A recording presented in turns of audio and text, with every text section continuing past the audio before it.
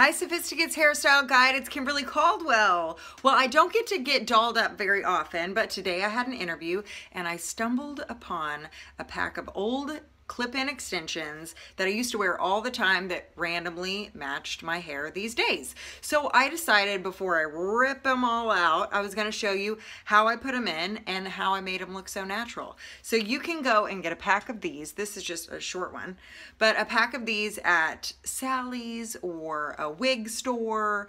And I always got like goddess hair, Remy hair, uh, and it's, you can cut it, you can color it, you can um, curl it, you can do whatever you want to it. And it's so great and it's so fast. So this is, so all this yummy stuff is extensions. And it's definitely not perfect because I cut it myself. But I'm going to just show you how easy it is to clip these in. So take a layer, start from the bottom. I already did all the bottom obviously, and you can see all the tracks in here. So you got to make sure you don't go too high. Bam, bam, bam. Bam, bam, bam. I'm not even kidding, it's that easy. Here's the clips, they're open. I put one clip in here, clip. One clip in here, clip. See, and it looks all ghetto. It doesn't even, oh, well, okay, that's a little too ghetto. Bam. Flip this over. Oh my gosh, look at that. And then you have all this full awesome hair.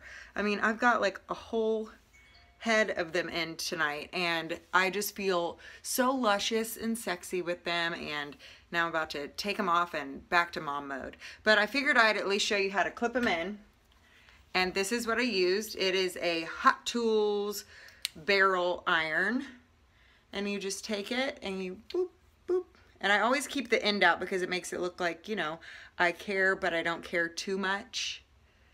Maybe hold it for like 10 seconds tops, let it go, and there you go. And do your whole head. And I just did maybe like 10 of those. And then you just mesh it, mess it up, and I even brushed it out at the end. Don't be scared to brush out your curls. And then once you're done, something to seal it. Get it a little piecey. Hairspray fixes everything. Shabam. There you go.